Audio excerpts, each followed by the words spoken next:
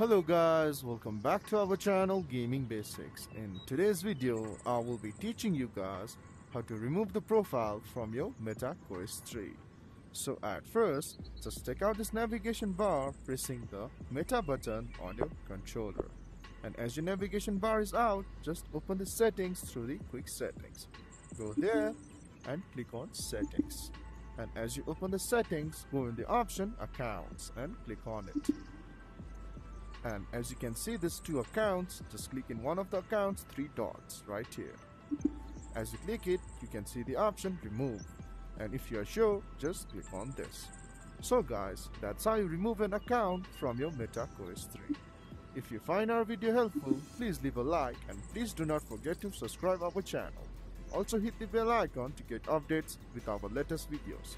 And drop a comment for reviews and more content like this I will see you guys again in our next video. Thank you for watching.